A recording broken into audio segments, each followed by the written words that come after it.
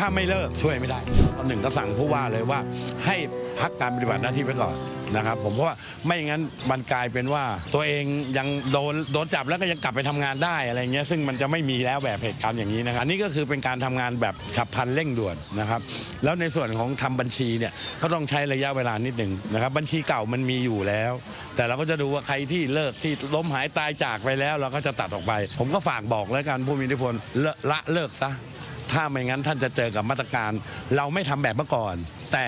ในระบบนี้ถ้ายังมีปัญหาเราจะลุมกันไปทั้งสตงปปงนะครับแล้วทาง DSI ไปดู คือทุกอย่างคุณจะถูกตรวจสอบหมดนะครับผมที่ผมคุณฐานความผิดแล้วก็เรื่องยาเสพติดเนี่ยเป็นเรื่องแรงนะครับผมเราจะเข้มข้นจากกำนันผู้ใหญ่บ้านก่อนเล็กไหนจะตรวจฉี่ให้หมดเลยผมว่า 6 เดือนปีหนึ่งเห็นผลแน่นอนนะครับคราวนี้เราไม่จับปลาซีโรสร้อยเราทำลายอาณาจักรก็คือไม่เอาคุณคนเดียว รอบตัวคุณต้องโดนหมด